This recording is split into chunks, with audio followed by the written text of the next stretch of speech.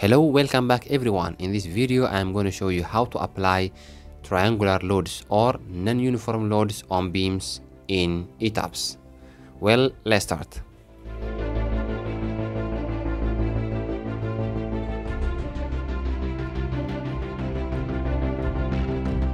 Well, some of you may ask where uh, and uh, how we may apply triangular loads and where it may occur, possibility of occurrence. Okay, so uh, if you can, if you see this uh, uh, simple uh, room that you see here, we may have a, a, top, a top tie beam here, somewhere here. Okay, a beam here. So there will be a wall that is acting on or that is resting on the beam around here. Okay, so this is a kind of uh, maybe if we have a beam here something like this.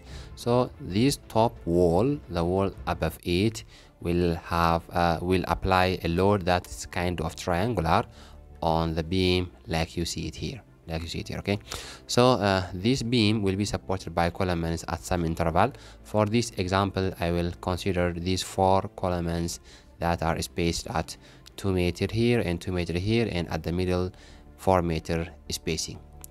Okay so i will model this beam on etabs. So let's directly go to the etabs. Well i have opened my etabs here. Uh, so these triangular or non-uniform loads can be applied in at least two ways okay? At least two ways. I will show you the two methods okay? Well let me first uh, define the let, let, me edit the grid data. Here i will uh, modify here and a b and maybe i will need c and d if then from here up to here it will be 2 meter then uh, 2 plus 4 it will be here 6 then it will be 8 here okay? The grid is something like this. Now uh, let me make this uh, defined. Let me keep this one as it is. Let me say okay now I have this uh, kind of layout here. Now let me apply a column let me define a column here define uh, section property. And here this I have already defined a beam here. Let me define the column a new property. Then maybe rectangle here. Maybe 30 by 30 whatever okay? The concrete already this one. Let me select this one.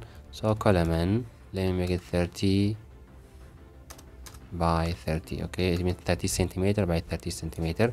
So 300 by 300 okay well uh, so let me say check here uh, all the reinforcement is 400 uh, the clear cover let me make maybe 25 here let me make it 3 all these things uh, maybe discuss another time. Now fine okay this i will use this beam so this is my column. Now let me draw the columns okay?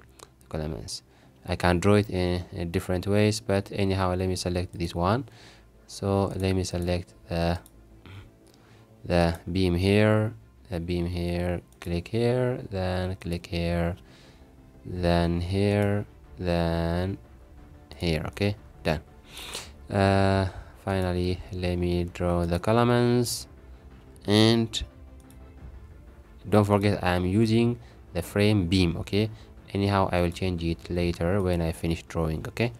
I will assign the the correct column section for it okay? Now let me select these columns. The four columns has been selected. Check it here. Now i will assign the frame section the column 30 by 30 i will just drag it here and done. Now it is the beams are beam 40 by 20 and this is 30 by 30 columns. Now let me select the, the beams to apply the load let me assume the load is maybe tail load or live load whatever. Because our aim of this video is just to show you how the triangular load is distributed. Now you know you you know that uh, i have one beam like this and it is triangulated from this end to the center and from here to here. So it's better that we may join these three beams then later on we can divide them okay? Let me go to edit then edit frame then maybe join here. So i will have one beam element here. So it will be easy to apply the load here. Let me select the element then go to the assign frame load then distribute it. Now here is the game. Okay eh, you can select any of the uh, load that you're considering. For me dead load okay? Now i will start with the first method that is relative distance from end i so it is taking a ratio of the distance between where you want to apply the load and the total length of the element. So the center is at 0.5 okay? For example the center is 0.5 this end is 0 this end is 1 now when we i start from here up to this center divided by the whole length it means from here up to the center it's 4 meter. Divided by the whole length is 8 so it will be 0.5 okay? If it is here it is 6 divided by 8 around 0.75 so if it's full so 8 divided by 8 it will be 1 so now with this ratio let me start here okay? Let me make this one 0.5 then this one maybe 1 I don't need this one okay? I don't need this one.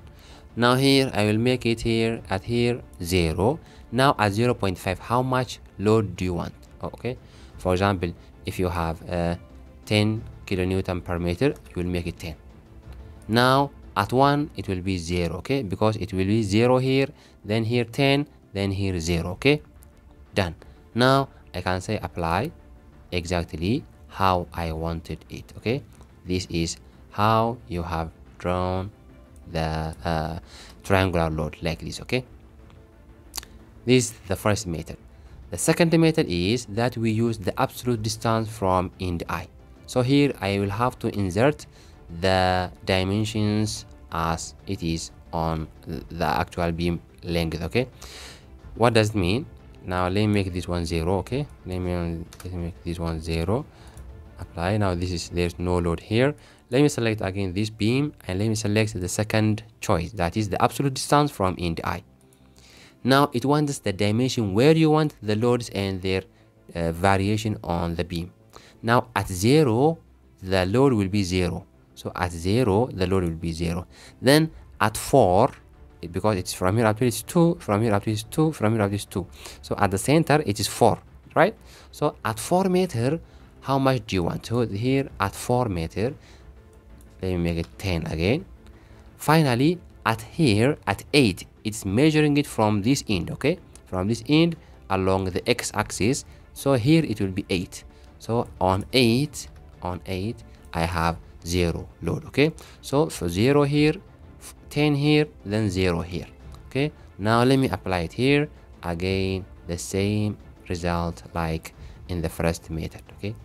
So uh, this is how you may apply uh, triangular or non-uniform loads on the beams okay? On the beams.